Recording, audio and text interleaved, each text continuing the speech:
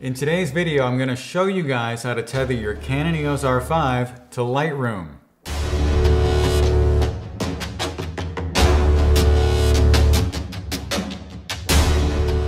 This seems to happen a lot whenever people get new cameras. They have difficulty using them with their old software. And so I heard from someone recently in a comment that he was having trouble tethering his R5 to Lightroom. And so I have a solution today that will let you uh, get your images in the program live while you're shooting. So if you've ever gone into Lightroom and gone up to File and come down to Tethered Capture and hit Start Tethered Capture, you end up with this spinning beach ball of death. So you definitely don't want to do that. So what you want to do is you want to go up to File, and then you want to come down to Auto Import, and then Auto Import Settings. Then make sure that Enable Auto Import is checked. You're going to change your watch folder to the place where you're going to write your pictures. So we're just going to come down here. Well, I have this folder called Retouching Demo. And I'm gonna make a new folder and I'm gonna call it Write Photos Here. It's important that you set up a new folder that's completely empty in this step, otherwise it's not going to work.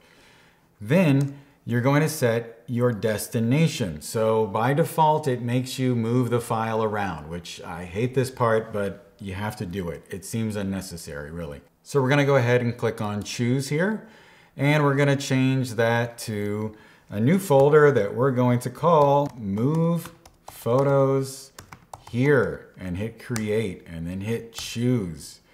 Then it's going to make a subfolder. It's just by default auto imported photos and that's fine.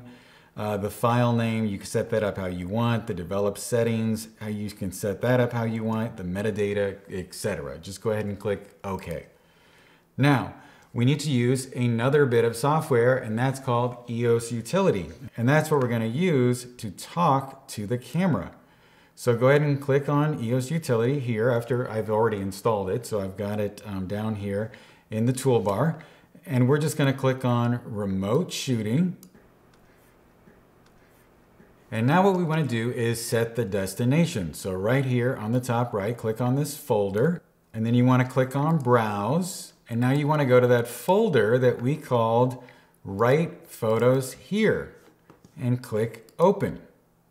You want to make sure that this Create a Subfolder box is checked, otherwise Lightroom will never see the pictures. So go ahead and click OK. Now, next most important thing is you want to click on this icon right here that shows the laptop and the camera. And that brings up a dialog called the image shooting location. You can select to have the photos write to the computer only.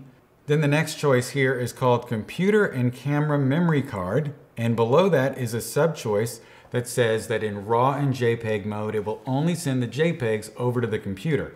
But I'm going to assume that since we're in Lightroom, we're going to want the RAW files over here.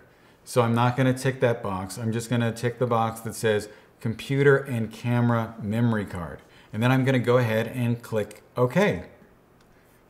So we'll just go ahead and take a picture here. And then we'll click over to Lightroom. And if you look over here on the left, you'll see a folder called Move Photos here. And in there is a subfolder called Auto Imported Folder. And if we double click on it, you'll see this beautiful photo of my laptop. Isn't that great? So if you press the G key, it'll go back to the grid. If you go back to your camera, you can go ahead and take a bunch of photos and as you can see, they'll show right up in Lightroom. If you guys have any questions or comments, just leave those below. And as always, stay safe, take care, and I'll talk to you soon.